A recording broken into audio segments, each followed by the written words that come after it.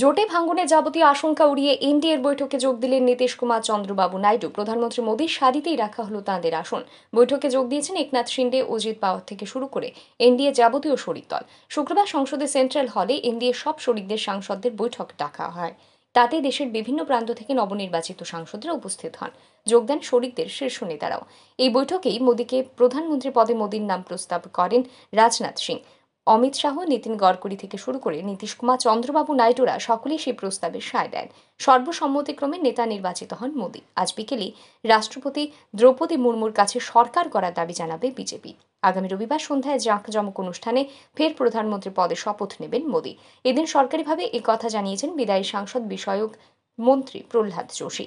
এদিনের এই বৈঠকে বক্তব্য রাখতে গিয়ে টিডিপি সুপ্রিমো চন্দ্রবাবু নাইডু বললেন, নরেন্দ্র মোদীজি ভারতের প্রধানমন্ত্রী। আমরা এনডিএ একটি পরিবার।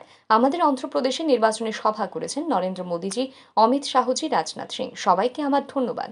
মানুষের মধ্যে বিশ্বাস পেরেছে এনডিএর ওপর। আমি অনেক সরকার দেখেছি। নরেন্দ্র মোদীর মধ্যে সেই ক্ষমতা আছে, তা দেশকে এগিয়ে নিয়ে যেতে পারে। ভারত আজ ঠিক সময়ে ঠিক নেতা পাচ্ছে। ভারতের জন্য বিরাট সুযোগ। এই সুযোগ আজ আমরা মিস করলে বিরাট ক্ষতি। বিশ্বের সব দেশে বৃদ্ধির হার দুই থেকে তিন শতাংশ। ভারতের বৃদ্ধির হার সবচেয়ে বেশি। আমি গর্বের সঙ্গে নরেন্দ্র মোদীকে প্রধানমন্ত্রী বানানোর অনুমোদন দিচ্ছি।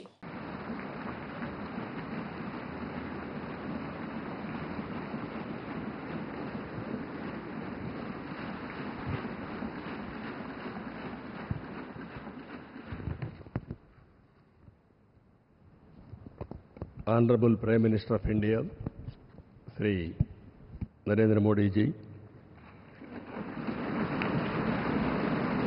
Honorable Union Ministers, respected NDA partners, Honorable MPs, first of all, we are congratulating all of you. You have won wonderful majority I have seen for the election campaign. For the three months, Honorable PM never took any rest. Day and night, he had campaigned, same zeal. He started and ended same spirit. In Andhra Pradesh, we had three meetings, public meetings, one big rally. It had made a huge difference for winning the elections in Andhra Pradesh. তবে এদিনে বৈঠকে শরিকরা উপস্থিত থেকে যেভাবে মোদীর নেতৃত্বে আস্থা দেখালেন তাতে বিজেপি নেতৃত্ব স্বস্তিতে তাছাড়া নীতিশ নাইডুদের পাশে থাকার বার্তা ধাক্কা খেল বিরোধীদের সরকার করার আশাতে ব্যুরো রিপোর্ট আর ই নিউজ